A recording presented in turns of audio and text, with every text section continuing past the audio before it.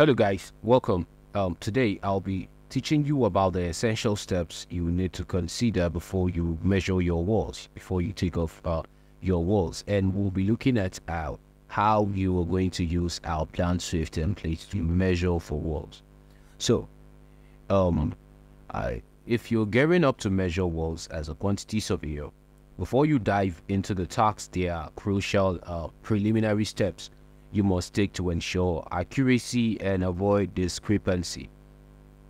Um, one such step is, you know, you have to check the doors and the window schedule and confirm uh, details from the drawings. So, you must be asking, uh, why is this important? Um, well, um, imagine measuring walls only to realize later that there is a mismatch between the measurements and what's depicted in the drawing. That's not just a headache. It can lead to costly errors down the lines.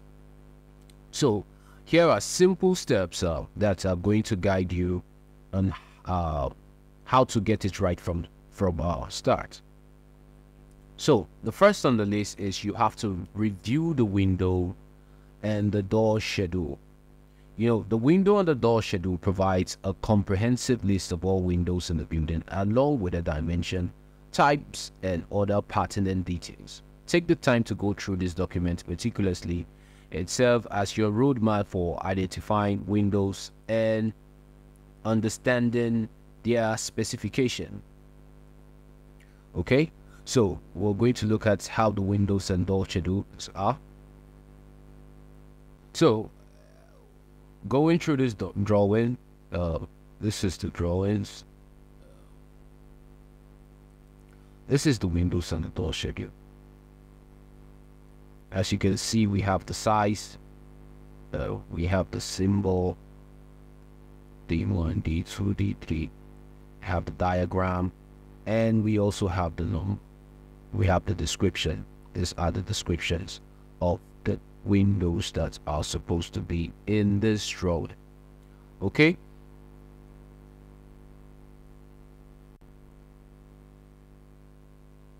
after you've reviewed the windows and the door schedule um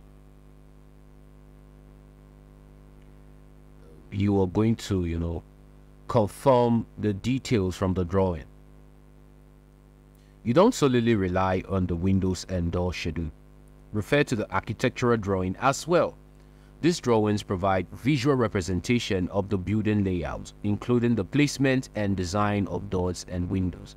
Cross-check the information from the doors and window schedule with what you see in the drawing to ensure accuracy and consistency. So you have to confirm from the drawings to see that this really relates. So um, we're going to look at the drawing to ensure that uh, so you can see D1 D1 is 21 by 1.5 D2 is 21.9 21.1 you're going to see it all and then what we're going to do we're going to cross check and as you can see I cross check um, D2 and I saw that um, this is what I'm seeing here. D2 is 2.95 so um, if I had, you know, look at just this, um, the windows and the door schedule here for D2, as you can see, D2 is 20, uh, 21 uh, by, I mean, 2.1 by 0.9 in meters, right? So you see, this is the reason why you need to cross-check to avoid uh, discrepancy between, uh, you know, to, you know, avoid this discrepancy between drawings okay? It might be that the architect makes some little mistakes and had this uh, window schedule that was not supposed to be here. So maybe he he mistakenly did that okay so you have to um, look at all the drawings uh, before you begin. You also check uh, so we're going to check the warrant to ensure you have to check all of this right? You could for you to check you just use your dimension and after you must have scale. If you don't know how to scale you can go below the video and then how to scale. So you can just decide to scale as you can see the one is 1.5 right there's 1.5 here all right and it's 1.5. I will have to zoom in for you to you know see. So um, as you can see, door one is 1.5, and door two is not the way they said it is. So also we will have to check the door three to ensure any of this is accurate. Okay. Uh, so uh, back to our PowerPoint. You have to understand the symbols. You have to understand the, the, the symbols, you know. In architectural drawing, symbols are used to represent various elements, including doors and windows.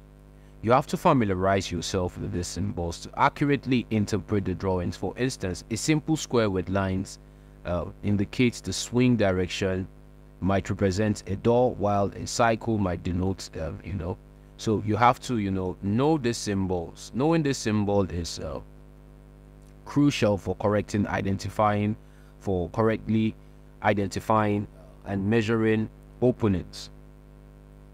Okay, so uh, you must uh, have come in contact with some of this uh, type of the symbols. You can see we have the single door opening inward, single door opening out, single door interior, double acting. So sometimes you might see some of this. You should know that these are the symbols that we have, typical window types. All right. So now let's jump into how we are going to use this template to measure our doors and windows considering all of these uh, guidelines that I gave you. So let's do that. Now, um, first of all, you are going to as well when you do when you do that. So um, the thing you need to realize um, is that we got to got we we have got to discover that the door two here there was a discrepancy and not just that the numbers of the of the doors that were you know uh, mentioned in the window schedule is not the same with this so you have to take note of all of this. Immediately you take note of all of this then you can measure. So now let's measure the external walls using our template. So first of all let's count. We're going we're already zooming everything. Wait let's count the door one. So that uh, as you can see, the one is having 13.0, right? The one is having 13.0, 13.0. And when you go to the uh, window shadow you're going to see that uh, for the door one, um, door one is um, 2, 2.1 by 1.5, right?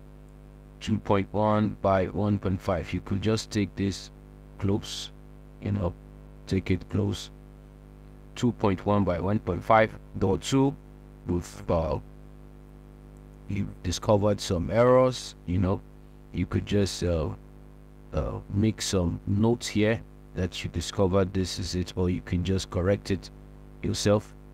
You could just correct it to avoid any of this. So you have um, there's a different uh, type of door and then the door tree.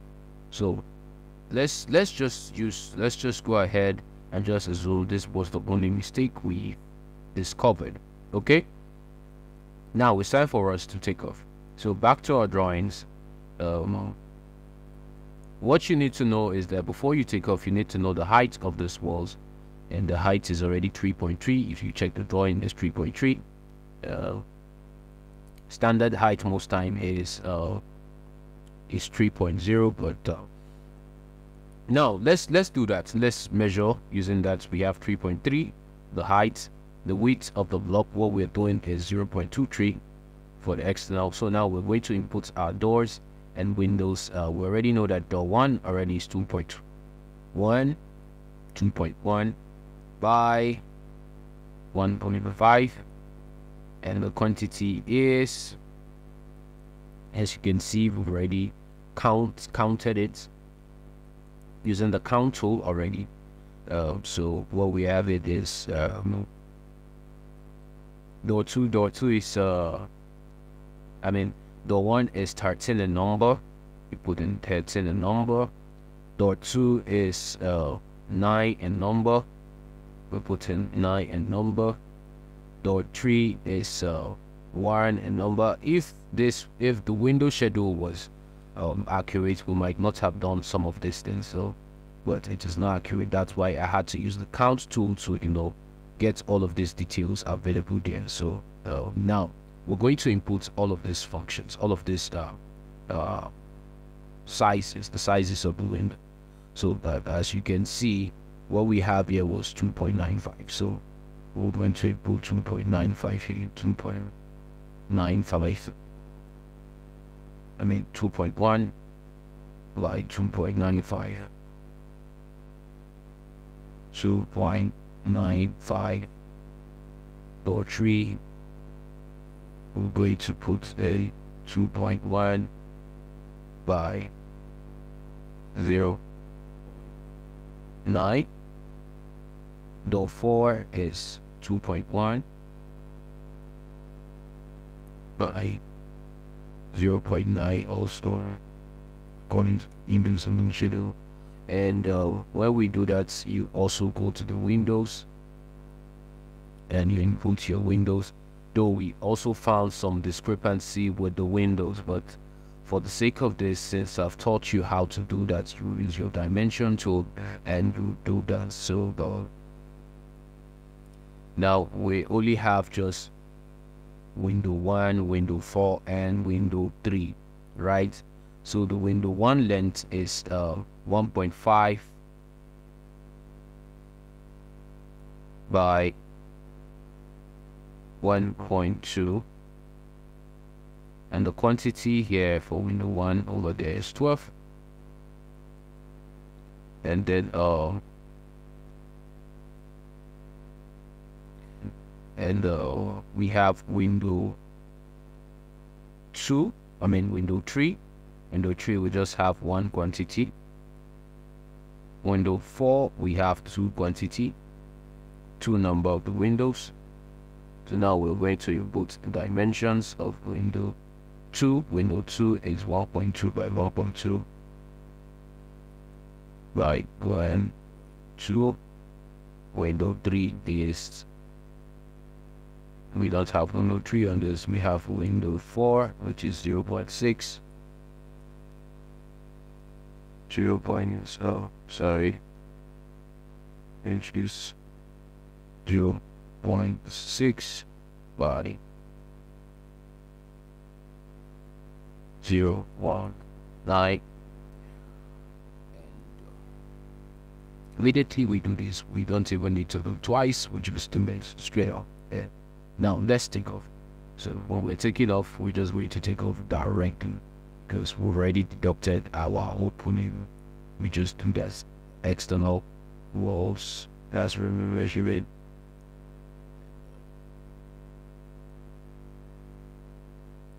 measure the extent.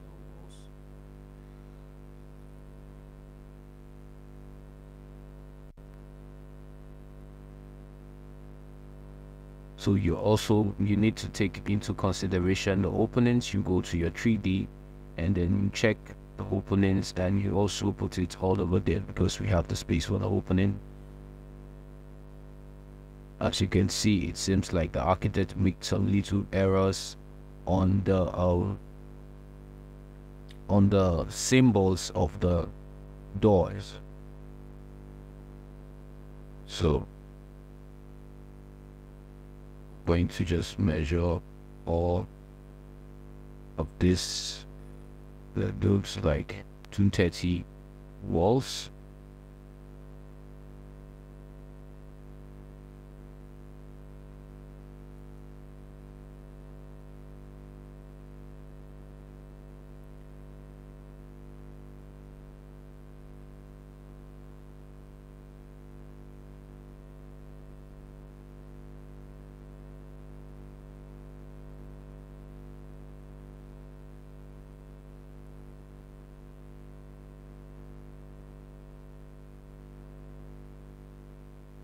so you're just going to measure this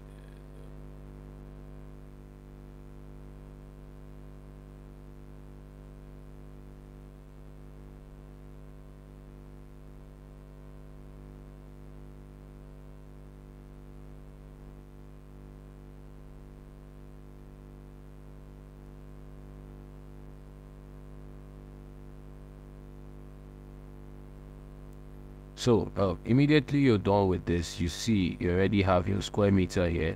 And one good thing with this template is it is going to show you uh, the the wall finishes, the plaster you're going to use for the external wall as well as the reveals.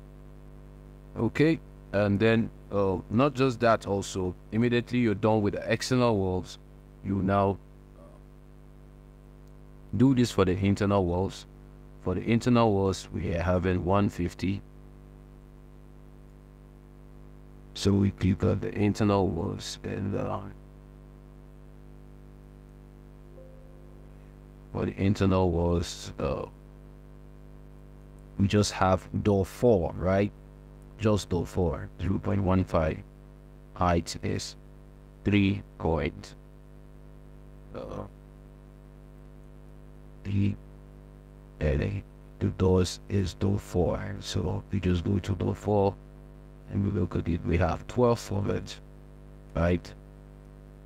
So, and the size of door four um, is uh, 2.1 by 0.9. You click and then we just begin measure here. And just measure.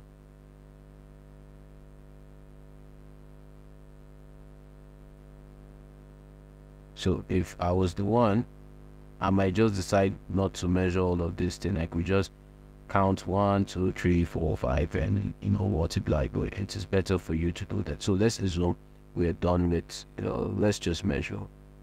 Let me know as well let's just finish it off and go.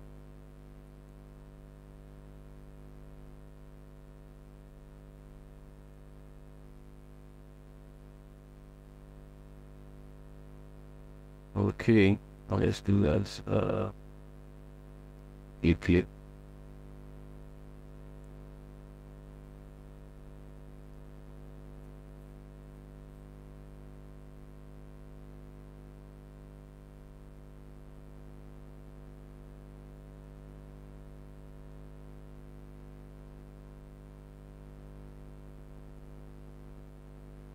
all right so immediately you're done with this uh,